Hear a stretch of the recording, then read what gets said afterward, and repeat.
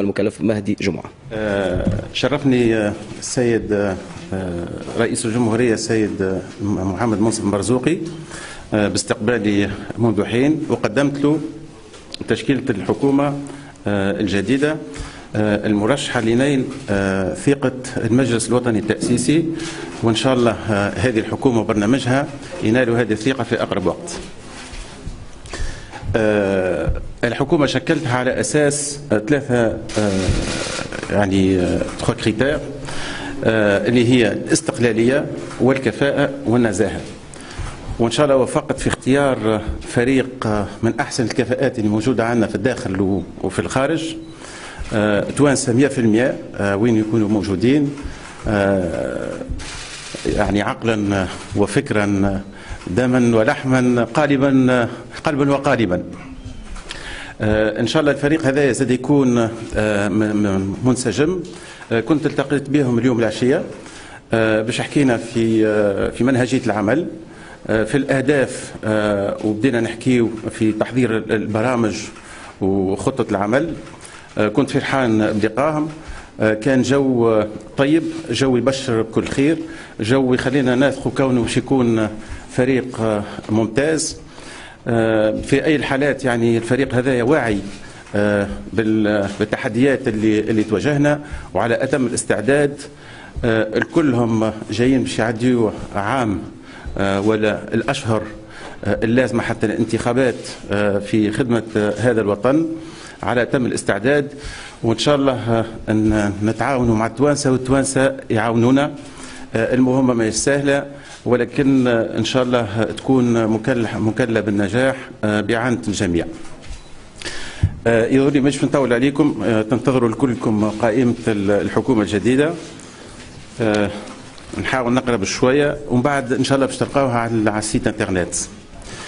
تركيبة الحكومة المرشحة لنا ثقة المجلس التأسيسي كالآتي الوزراء وزير العدل وحقوق الإنسان والعدالة الانتقالية السيد حافظ بن صالح وزير الداخلية السيد لطفي بن جدو وزير الدفاع الوطني السيد غازي الجريبي وزير الشؤون الخارجية السيد منجي حامدي وزير الاقتصاد والمالية السيد حكيم بن حمودة وزير الصناعة والطاقة والمناجم السيد كمال بن ناصر. وزير الفلاحة السيد لسعد لشعل. وزيرة التجارة والصناعات التقليدية السيدة نجلة حروش.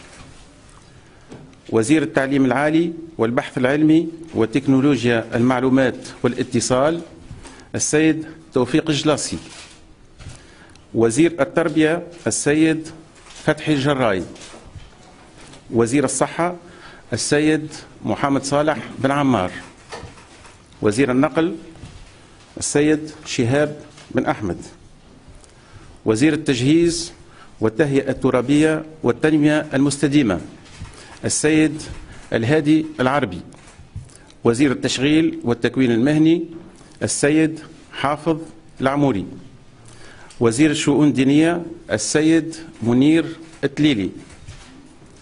وزير الشباب والرياضة والمرأة والأسرة السيد صابر بوعطي. وزيرة السياحة السيدة أمال كربول. وزير الثقافة السيد مراد الصقلي وزير لدى رئيس الحكومة مكلف بتنسيق ومتابعة الشؤون الاقتصادية السيد نضال الورفلي. وزير معتمد لدى وزير الداخلية مكلف بالأمن السيد رضا صفر.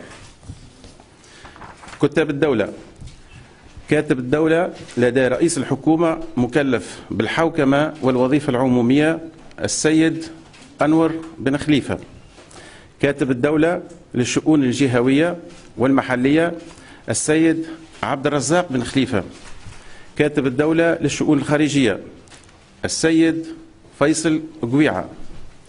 كاتبة الدولة للمرأة والأسرة السيدة نايلة شعبان كاتب الدولة للتنمية والتعاون الدولي. السيد نور الدين الزكري كاتب الدولة لأملاك الدولة. السيد محمد كريم الجاموسي كاتب الدولة للتنمية المستديمة. السيد منير المجدوب.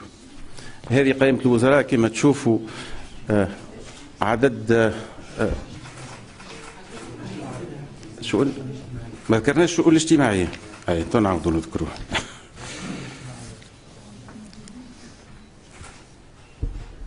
وزير الشؤون الاجتماعية السيد أحمد عمار اليونباعي السيد أحمد عمار اليونباعي هذه قائمة الحكومة كما تشوفوا آه، نقصنا في عدد آه، الوزراء قلصناه إلى 21 وعدد كتاب الدولة إلى تفضل. إلى سبعة كتاب دولة. باش يكون كما قلت لكم فريق إن شاء الله متناسق. باش نكونوا واضحين الكونسيني يعني اللي اتفقنا عليه باش يكون آه، فريق موجه للعمل. نحبوا الفريق هذا اللي فيه آه، كثير من الشباب يكون عملي آه، أكثر عمل أكثر أكثر من القول إن شاء الله. نحب المناسبه هذه زاد كيف كيف نغتنم الفرصة ونتوجه بالتحية إلى كافة من عاونونا في تشكيل هذا الفريق. نحب نتع... زاد كيف كيف نتوجه بالتحية لكل ما شفتهم لكل المرشحين لأني شفت كثير من المرشحين. آه ما شاء الله تونس تزخر بكفاءات. آه في الأول ما نخفيش عليكم كون المهمه كانت تبدو صعبة لأني كما تعرفوا ما عنديش ما عنديش حزاب ما عنديش آه آه، في الأول يعني آه، لي ريزو باش باش باش في سعي يلقى الكفاءات. الإنسان ولكن تشكلت وقيت كثير من الكفاءات وحتى في الآخر في بعض المناصب في بعض الحقائب كانت عندي عندي الاختيار. إن شاء الله توفقنا في هالفريق المنسجم. نحب زاد كيف كيف نشكر كل اللي عاونونا في في مجال الحوار الوطني وما يعني الرباعي. الأطراف اللي ساهمت مباشرة وغير مباشرة في إنجاح هذا الحوار الوطني. نشكر كل الشخصيات آه، والأحزاب السياسية المنظمات الاجتماعية واللي آه، أعطوني من وقتهم واستمعت لهم وكانت نصائح مفيدة حتى ولو اختلفنا في الرأي هذا مكنني باش تتشكل لي رؤية وقناعات وعلى أساسها قمت باختيار هذا الفريق وتقديمه آه، للسيد الرئيس آه، اليوم. إن شاء الله آه، فريق موفق. وإن شاء الله إن شاء الله الليلة زاد كيف كيف بعد الموافقة بعد الموافقة على الدستور إن شاء الله نحتفلوا به غدوة وإن شاء الله في أقرب الأوقات زاد نتعداو قدام مجلس السيسي وهكذا يكونوا عندنا استكملنا جميع المسارات وإن شاء الله نكونوا آخر حكومة انتقالية قبل ما نتعداو الحكومات مستقرة. آه، بطبيعة الحال ما كانتش ديما الأمور سهلة ولكن أثبتنا كتوانسة قدرتنا على يعني توصل الحلول ولو بعد ساعات في دقيقة 90 ولكن آه، ديما آه، رابحين إن شاء الله.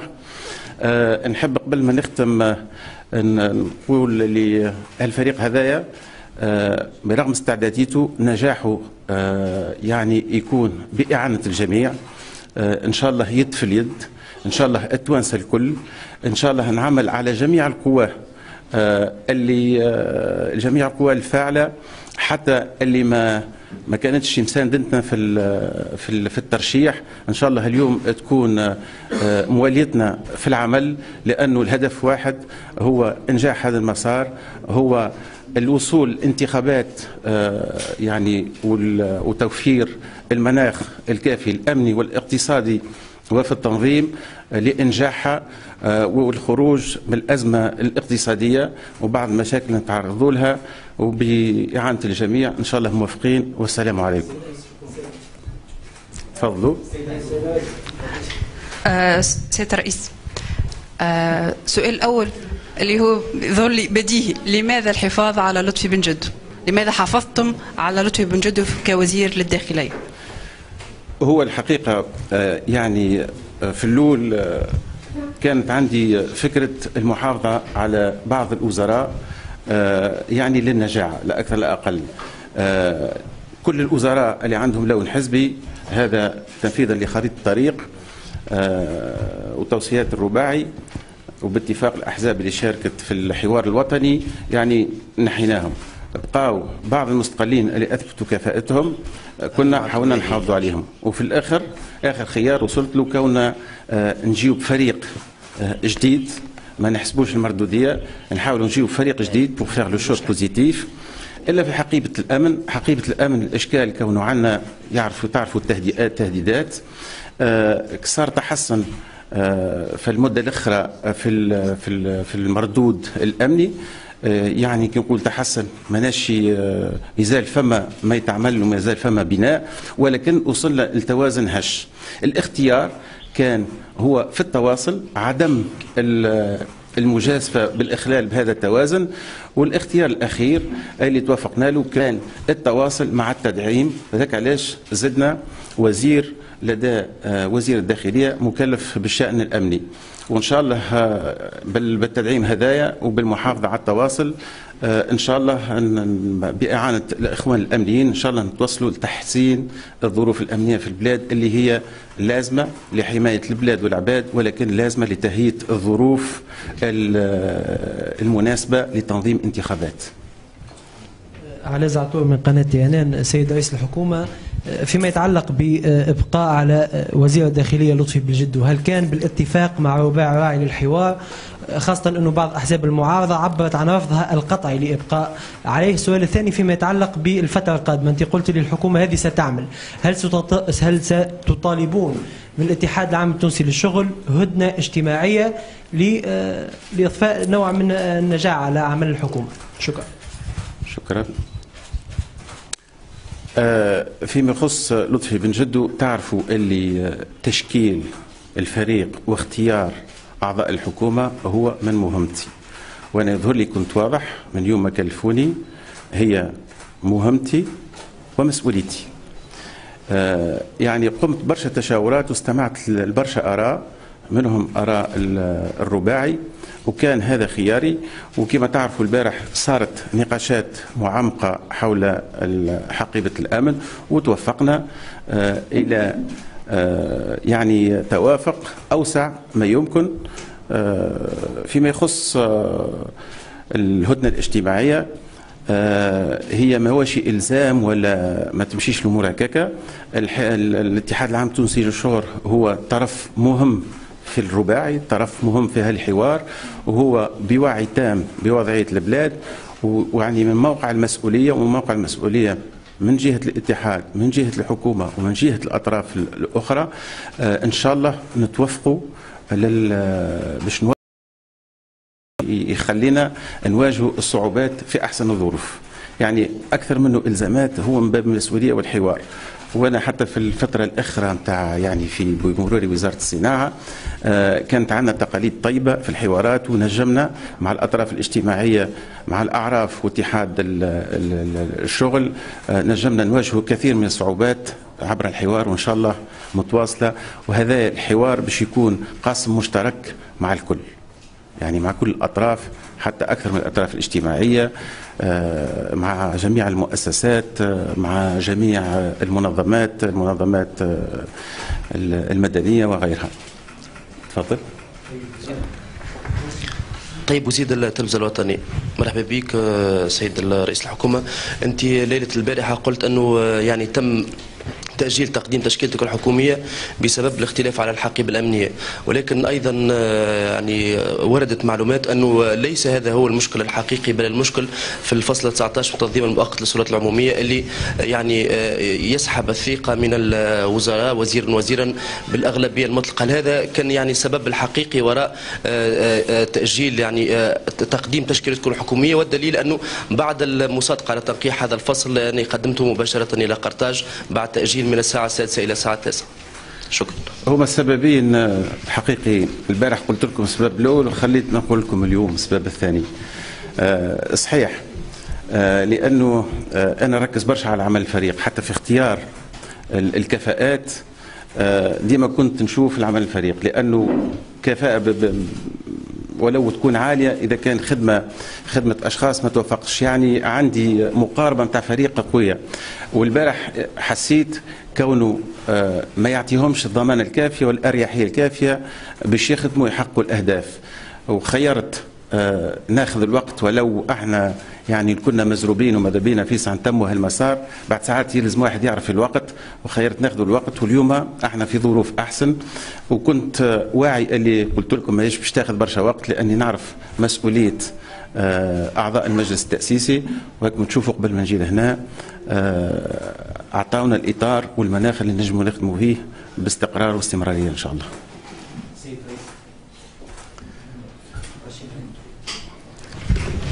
رشيد الشكل الجراي قناة العهد العراقي. سيد رئيس الحكومة هل ستتولون آه، تصريف الأعمال فقط أم أنكم ستتخذون على عاتقكم مسؤولية اتخاذ قرارات تخص الجانب الاق- الاقتصادي للتخفيف من آه، أو التقليص من حالة الاحتقان الاجتماعي في عديد الجهات؟ لا يكون من المؤسف اذا كان ما ناخذوش قرارات اقتصادية لأنه الوضعية من الصعوبه آه، اللي آه، يعني يلزمنا ناخذوا ناخذوا قرارات سريعة في المجال الاقتصادي والمالي والاجتماعي هي مش آه، حكومة حكومة تصريف أعمال هي حكومة مكلفة عندها السند الكافي إن شاء الله والثقة بعد نيل ثقة المجلس التأسيسي آه، والسند الكافي آه، باش تقوم يعني بالإجراءات اللي آه، اللي اللي اليوم لازم باش نقوموا بها في في كل المجالات إن شاء الله. محمد الأطرش قناة المتوسط. آه، سيد الرئيس يعني حكومتك- حكومتكم ليست لها سند سياسي. هل ستعولون على برنامجكم يعني برنامج دقيق لنيل ثقة الشعب. وما هي يعني ملامح هذا البرنامج القادم آه، هي ما عندهاش سند سياسي ما عندهاش حزب سياسي وراها. ما عندهاش آه، تكتل سياسي ولكن إن شاء الله بالوفاق الوطني يكون عندنا سند أقوى. وإن شاء الله آه، قوتنا زاد نستمدوها. من التوانسه اللي نحبونه نحبوه نحبوهم يكونوا آه، معانا مش ورانا معانا وإحنا إن شاء الله معاهم. آه، بكل آه، بكل تركيباتهم بكل أجناسهم بكل آه، مواقعهم. آه، هذا أكبر سند نعولوا عليه وإن شاء الله ننجحوا آه، يعني في آه، تهيئة المناخ باش التوانسة يسترجعوا الأمل آه، في حكو في في في في المناخ السياسي بصفة عامة آه، ويعاونونا لأنه ما غير عند التوانسة مهما كانت قوة الفريق يظهر لي النتائج ما تكون في في المستوى المطلوب. آه، سيرين بن قاسم إذاعة شمس أف آه، سيد رئيس الحكومة آه، على ضوء الاجتماع الذي قمتم به آه، اليوم العشية مع بقية أعضاء الحكومة يعني حددتوا حددتوا كيفاش باش يكون تنسيق وتقاسم الأدوار بين وزير الداخلية سيد لطفي بن جدو والوزير المكلف بالشأن ال- الأمني السيد رضا صفر. يعني شنو باش يكون دور كل واحد منهم؟ لا الحقيقة اليوم يعني الفريق كامل اجتمع كانت التعارف والخطوط العريضة ومنهجية العمل ما دخلناش في الجزئيات هذه إن شاء الله في في أقرب وقت عندنا تصور وإن شاء الله نحدوه عمليا. شكرا. يظل أي سؤال أخير تفضل. سؤال أخير. يعني العديد من الملفات آه، مفتوحة الآن من الحكومة الجديدة خاصة من الملفات الاقتصادية والسياسية والاجتماعية، يعني هل ستعهدون في برنامجكم الحكومي المستقبلي خلال ثمانيه اشهر أو أو سنة كما قلتم لإنقاذ البلاد اقتصاديا أم لكشف الاغتيالات خاصة ومطلب للأحزاب المعارضة اليوم أو تحق- وتحقيق الأمن؟ إحنا باش نتعهدوا بكل ما جاء في خريطة الطريق. وكي تراجعوا خريطة الطريق تلقاو آه، يعني في المجال الأمني فيه الاغتيالات فيه آه، كثير من الأشياء إن شاء الله باش باش نتعهدوا بها. آه، في كل المجالات. يظهر لي توا ماشي وقته لأنه فما بيان قاعدين نحضروا فيه إن شاء الله قدام المجلس الوطني التأسيسي آه، باش تبينوا فيه ملامح والخطوط العريضة آه، للبرنامج اللي نهيئوه. ومن بعد عندنا الوقت باش ندخلوا في التفاصيل إن شاء الله. وإن شاء الله ديما متواصلين. ولقاءات. فيما يتعلق بالانتخابات قانون المنظم للسلطات العموميه يطيح النسبة ل 50 زائد واحد إلى تجاوز سنه 2014 في ساحه الثقه. يعني هل من الانتخابات؟ يعني هي أولوية الأولويات الانتخابات. هذا اللي باش يسجلها علينا التاريخ وإحنا أول مهمة هذا. والباقي يعني مهم لأنه يمس آه، يعني التوانسة الكل وكذلك لأنه من الظروف المهمة الاقتصادية والاجتماعية وغيرها لتهيئة المناخ الطيب للانتخابات فعلا. سيدي ليلتكم سعيدة وإن شاء الله لقاءات متواصلة ونشوفكم خير. على خير.